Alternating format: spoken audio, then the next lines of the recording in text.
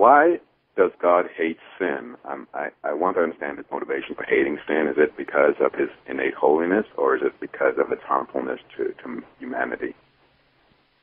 Well, I think I think both, and I think the two are related to each other. The reason sin is harmful to humanity is because it it does not resemble God, and humanity was created in the image of God, and functions best both as an in, uh, as individuals and as a society. We function best when we are being like God. Uh, God made man in His image, and there was a loss of some of that when man sinned. Man became corrupted by sin. And in that respect became unlike God. And ever since then, that has complicated human society, that has complicated human destinies, that has destroyed individual lives and relationships. Uh, who wouldn't hate that? Sin is like a cancer in the in the body of humanity. If my child had cancer, I'd hate it too. I wouldn't hate my child, I'd hate the cancer.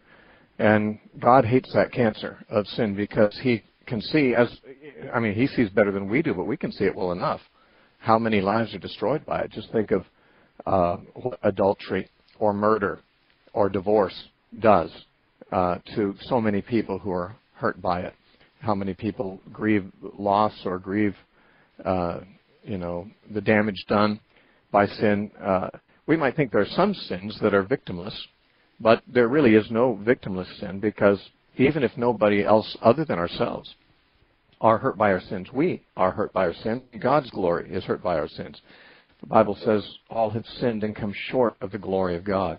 God's desire for each of us is to be changed into the likeness of Christ from glory to glory into his likeness. And sin is movement in the opposite direction. And God hates that because, uh, of course, it keeps us further from Him and from His likeness, and it hurts us real bad.